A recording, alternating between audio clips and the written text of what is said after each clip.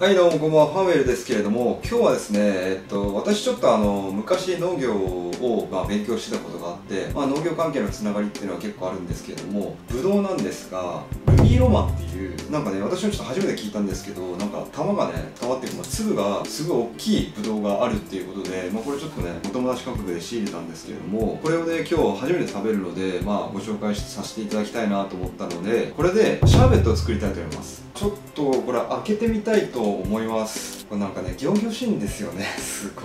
まあねこれちょっと一応なんか周品っていうところで何が周品なのかよくわかんないですけどとりあえずちょっとこれ開けてみたいと思うんですが行々しすぎるんだよなこれ。でなんかすげえでかいんですよこれ。あれよくわかんない。タグとかもいっぱいついてるんですけどまあねこんな感じですね。ちょっと若干手が震えそうだなっていうぐらいでかいです。これぐらいあります。もう顔と同じぐらいありますね。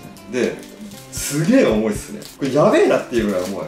なんだこれ。いやもうこんなんすこんなんすなんか遠近感で何持ってるか分かんないみたいな。何持ってるか分かんないみたいな状況なんですけど。これはちょっとやばいな。開けるの怖いよマジで。ちょっととりあえず開けてみますね。もうこんなですよ。これやばくないですかマジで。すげえ重いそして。あの普通のブドウの倍ぐらいありますねこの重さが。やばいマジで。ああもうねえこんなんですよ。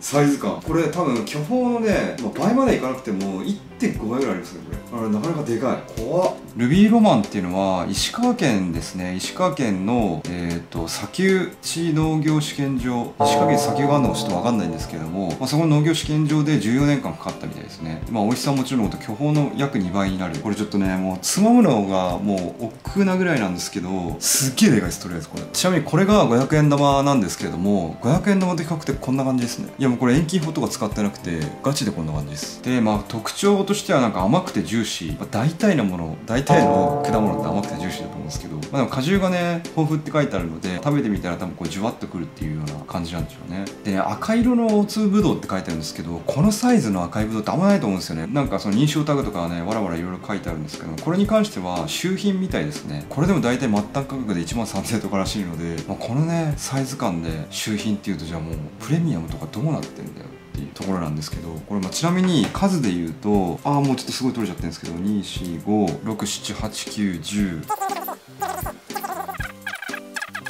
まあ大体40粒ぐらいなので1万2000円だとして40粒ってことは300円これ1個300円ぐらいするらしいですね買うと。信じられないですね。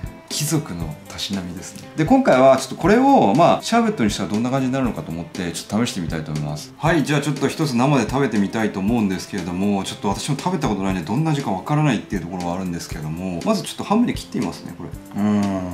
切った感覚だとまあこれちょっと見てもわかると思うんですけどすごくジューシーですね。でジューシーでまあ種はないですね。香りもちょっとよくわかんないです。巨峰とかの方が強いかもしれないですね。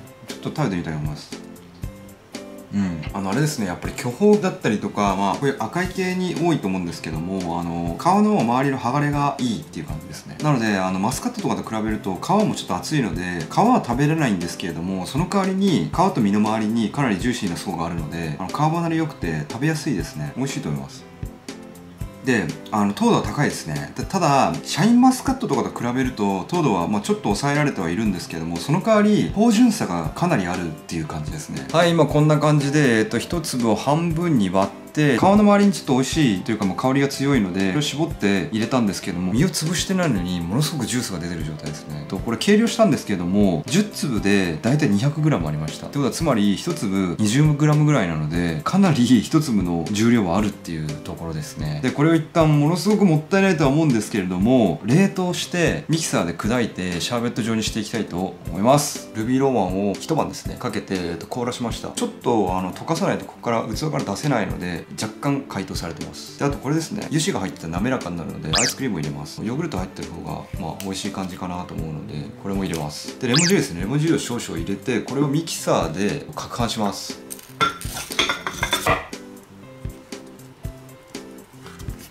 あんまりゆっくりやると,、えーと、ミキサーで攪拌するときに熱が出て溶けちゃうのでこの工程は素早くやった方がいいですね。じゃあこれを、えーと攪拌します。はいこんな感じで攪拌してまあいい感じですね。竹ふわりという、まあ、こんな感じの美味しそうなシャーベットですね。ちょっと一口食べてみたいと思います。うん、結構ヨーグルトとか入れてもぶどうの甘さが際立ってる感じですね、まあ、こんな感じで甘いねあのルビーロマンってあんまり売ってるとこ少ないと思うんですけどシャインマスカットとかって結構あの手に入るのでこういう形でシャーベットでも食べてみたらどうでしょうか。以上です。ありがとうございます